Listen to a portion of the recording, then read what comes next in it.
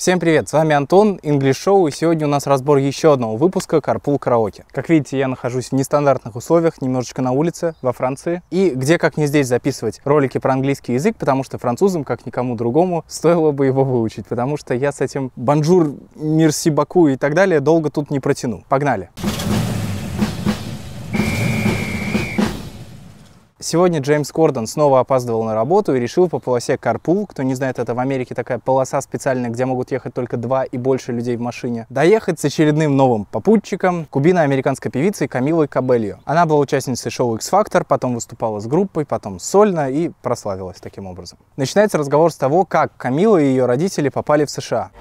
Now, I want to talk to you about your journey to America. Now I want to talk to you about your journey to America. Сейчас я хочу поговорить с тобой о твоем путешествии в Америку. Yeah, my mom is Cuban, my dad is Mexican. I was born in Cuba. Um, and my mom uh, crossed the Mexican border with me when I was seven years old, had to leave my dad in Mexico. Yeah, my mom is Cuban, my dad is Mexican. I was born in Cuba. And my mom crossed the Mexican border with me when I was seven years old. Had to leave my dad in Mexico. Да, моя мама кубинка, мой папа мексиканец. Я была рождена на Кубе, и моя мама пересекла мексиканскую границу со мной, когда мне было 7 лет. Ей пришлось оставить моего отца в Мексике. She had basically like the clothes on her back and barely any money, did not speak English. I remember my family was like, You're going to Disney World, you're going, because I had no idea what was happening. She had basically like the clothes in her bag and barely any money. Did not speak English. I remember my family was like, You're going to Disney World, because I had no idea what was happening. Все, что у нее было, это какая-то одежда в сумке и едва ли какие-либо деньги. Она не говорила по-английски. Я помню, как моя семья говорила, ты едешь в Диснейленд, потому что я вообще не понимала, что происходит. Словом journey обозначает путешествие или поездку, обычно такую серьезную, долгую, на большие расстояния. То есть э, go on a journey — это поехать, отправиться в путешествие. This is a journey she must go on alone. This is a journey she must go on alone. Это путешествие, в которое она должна отправиться в одиночку. В таком же значении можно сказать to set off for a journey, то есть тоже отправиться в путешествие. After saving planet Earth for the 500th time, Thor set off on a new journey. После спасения Земли в 500 раз Тор отправился в новое путешествие. А вот если говорить о непродолжительной поездке, из которой планируете вскоре вернуться домой, уместнее будет использовать слово trip. Оно тоже переводится как путешествие или поездка. И это может быть a day trip. I feel like taking a day trip. I feel like taking a day trip. Мне хочется отправиться в однодневное путешествие. Или, например, a business trip — это деловая поездка, то есть э, командировка по-нашему. It's a business trip. They're going on a business trip. Okay. It's a business trip. They're going on a business trip. Это деловая поездка. Они едут в командировку. И, как вы могли уже заметить, чтобы отправиться в поездку, в путешествие, мы используем выражение to go on a trip или to take a trip. I want you to go on this trip. I want you to go on this trip. Я хочу, чтобы ты поехал в эти путешествия. Продолжая подтанцовывать под заводные хиты Камилы, Джеймс спрашивает ее по поводу шоу X-Factor. Оказывается, основной причиной, почему она пошла именно на это шоу, на кастинг, была ее любовь к группе One Direction и особенно к ее участнику, Гарри Стайлзу. Давайте послушаем. Tell me this, when did you decide to go and audition for X Factor? Tell me, when did you decide to go in audition for X Factor? Расскажи, когда ты решила пойти на прослушивание в X Factor? I was 15, I was like a huge One Direction fan. Um, and I was like, The Voice? X Factor. And I was like, Well, One Direction will be at X Factor. I don't know if they'll be at The Voice, so let me audition for X Factor. I was 15. I was like a huge One Direction fan. And I was like, The Voice, X Factor. And I was like, well, One Direction will be at X Factor. I don't know if they'll be at The Voice. So let me audition for X Factor. Мне было 15, и я была большой поклонницей группы One Direction. Я такая, голос, X-Factor. И я такая, ну, группа One Direction точно будет на шоу X-Factor. Не знаю, будут ли они на шоу голос. Так что пойду-ка я на прослушивание в X-Factor. That was the reason.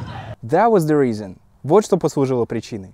Literally, this is really embarrassing and i can only say this because obviously that was like 10, 10 years ago but i literally was like i'm auditioning for x factor because i will marry harry styles like i will and um, Literally, this is really embarrassing. And I can only say this because obviously that was like 10 years ago, but I literally was like, I'm auditioning for X Factor because I will marry Harry Styles. It's like, I will. В буквальном смысле. Это на самом деле очень неловко. Я могу сказать это только потому, что уже прошло 10 лет, но я реально тогда решила идти на прослушивание в X-Factor, потому что я хотела выйти замуж за Гарри Стайлза. Я прям думала, это произойдет. Вау!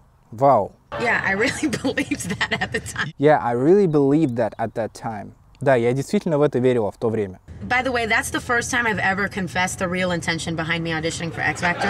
By the way, this is the first time I've ever confessed the real intention behind me auditioning for X Factor. Между прочим, я впервые признаюсь в истинном намерении, которое скрывалось за моим прослушиванием на шоу X Factor. I'm appreciative of the honesty of it. Yeah. I also don't think you were the only person with that I intention. wasn't.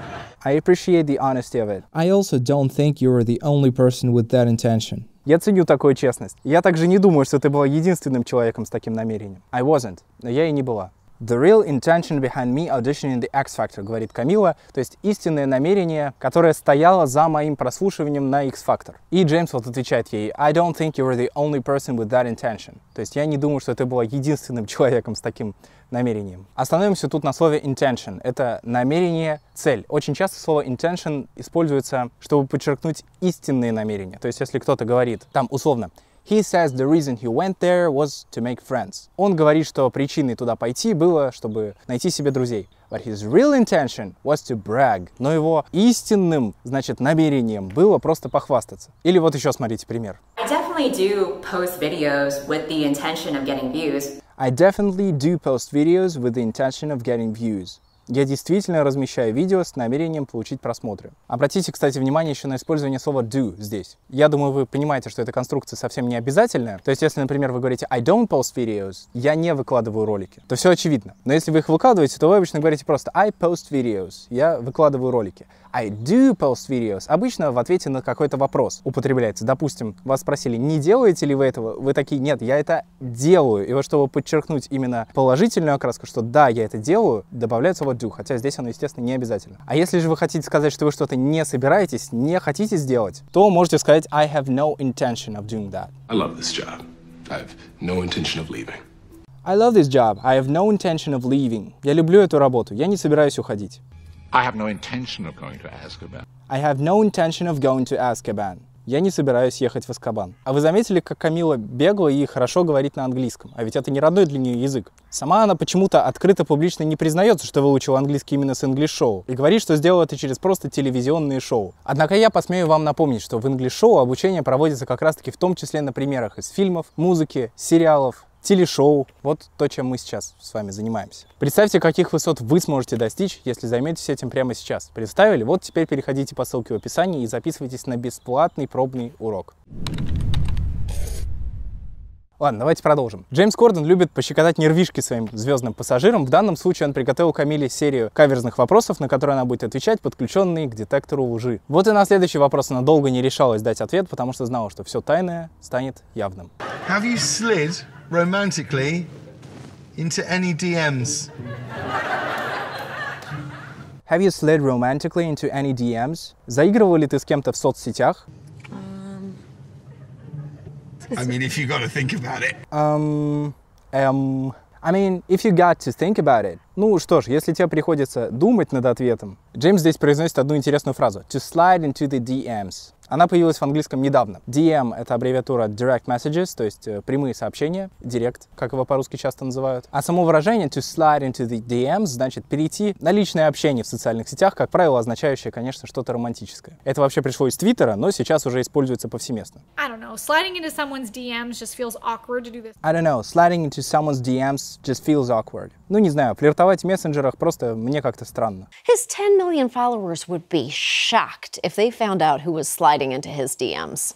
His 10 million followers would be shocked if they found out who is sliding into his DMs. Его 10 миллионов подписчиков были бы шокированы, если бы узнали, кто пишет ему романтические сообщения в соцсетях. А вот во время прохождения полиграфа с ответом на другой вопрос Камила уже пытается схитрить. Okay. You've been a guest on my show, Jimmy Fallon's show, and Ellen's show. Of the three of us, which show do you enjoy going on the most? Okay, you've been the guest on my show, Jimmy Fallon's show and Ellen's show. Of the three of us, which show do you enjoy going on the most? Ладно, ты уже была гостем на моем шоу, шоу Джимми Феллона и шоу Эллен. Из этих трех, какое шоу тебе понравилось больше всего? It's a tie. It's a tie between you and Jimmy.